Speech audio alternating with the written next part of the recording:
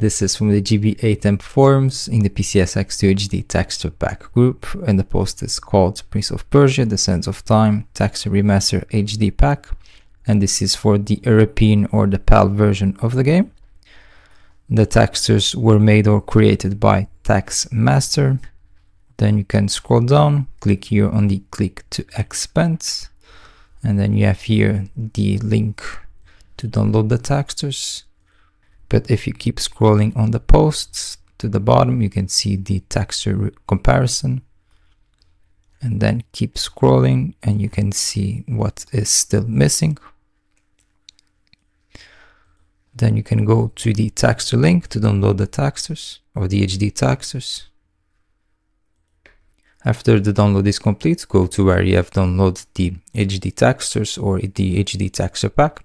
And now we need to extract the files.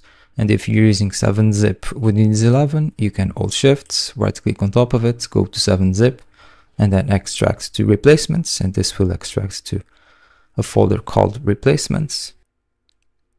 Now copy or cut this folder, go to PCSX2, go to tools, open data directory, go inside of the textures folder and paste the folder in here or to here. Then create a new folder and move the replacements to this folder. And now we need to change the name of this folder to the game ID or to the game serial. And you can go to the original posts and copy the ID from here and paste it here in the name of the folder. And the textures are now installed.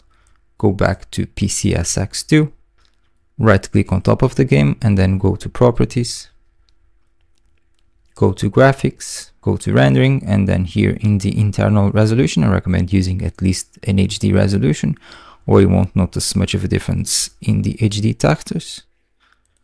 Then go to texture replacements, turn on load textures, and you can also turn on asynchronous texture loading. Now close this, run the game, and the HD texture should be working correctly. That's it for this video, and thank you for watching.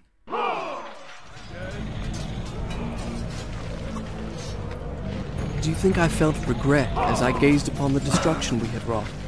Or at least humility at the speed with which a world can be transformed from a good world into a hell? If you think so, you are mistaken. For in that moment I thought of one thing only. The honor and glory I would bring my father by fighting like a warrior in my first battle.